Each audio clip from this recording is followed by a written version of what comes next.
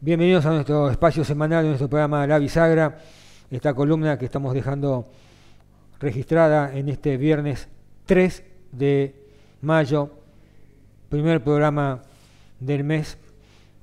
Y usted estaba viendo el título entre signos de interrogación, ¿qué es lo que está en juego? Esto nos retrotrae a una columna de hace siete días atrás, solamente siete días atrás, que todavía está en YouTube y en las que nos preguntábamos qué gestos pueden aguardarse. Nos referíamos, por supuesto, a qué gestos pueden aguardarse tanto de oficialismo como oposición en épocas complicadas que se estaban viviendo y se siguen todavía a lo mejor de algún modo todavía registrando en el país.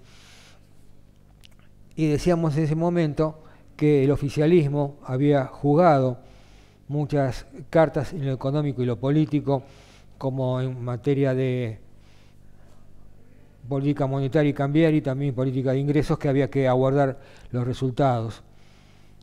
Y nos hacíamos esa pregunta, ¿qué gestos pueden aguardarse? Porque no solo analizamos la realidad, sino que lo hacemos con información. Y por eso, en la semana que hemos dejado atrás, hay que destacar dos hechos. Uno de ellos que quizás también nos retrotrae al primer acuerdo con el Fondo Monetario Internacional cuando afirmábamos que la Argentina podía ser un leading case y por eso el Fondo Monetario Internacional en la semana que dejamos atrás ha flexibilizado la política cambiaria. Y como segundo punto importante en la semana que dejamos atrás, esta suerte de documento acuerdo que ha propuesto el oficialismo a la oposición en lo que da a entender que una vez más el oficialismo toma la iniciativa y el mensaje es, muchas veces se ha propuesto un acuerdo sobre pautas generales, básicas para el manejo del Estado en Argentina.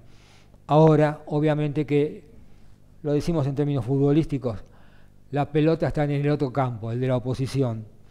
Para analizar estos temas, hemos convocado en esta jornada, en sendas notas que ya están en nuestra página web, al economista Fausto Espotorno, que da más importancia al cambio de la política monetaria cambiaria que quizás a este documento que todavía está en juego. Y además puntualiza algo que resulta interesante que del punto de vista de la cuenta corriente exterior, con el cierre del dólar de estos días, particularmente del viernes 45.50, estaríamos acercándonos a un tipo de cambio de equilibrio.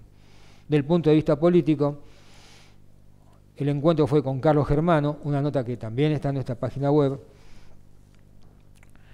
que considera que esta suerte de documento acuerdo hubiese sido oportuna para el oficialismo proponerlo en 2017 cuando tenía toda la fortaleza que significó revalidar sus títulos en la elección de medio término.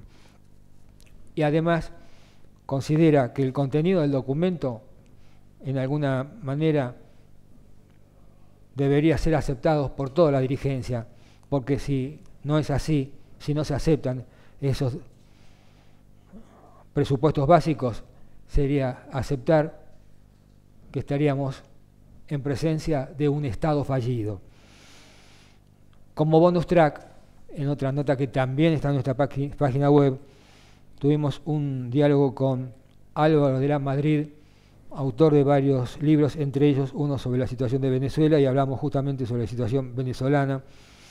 Y Álvaro de la Madrid considera que por estas horas la situación de Venezuela ha llegado a un punto en que quizás no puede solucionar sus problemas internamente si no es con una intervención regional o externa, al menos, al menos en lo que corresponde al aspecto humanitario. Y volvemos al título. ¿Qué es lo que está en juego? Del punto de vista regional y local, está en juego, a no dudar, definiciones no solamente en materia electoral, sino sobre un modelo político, económico y social. Y también está en juego la misma dirigencia que lo puede llevar a cabo, lo cual a veces nos retrotrae a debates que no se dieron hace mucho tiempo. Y también cabe preguntarse, no solamente por lo que está pasando nacional, regionalmente, sino a nivel mundial, en Europa mismo, si no estamos en vísperas de un cambio de paradigmas en la aldea global. Hasta todos los momentos.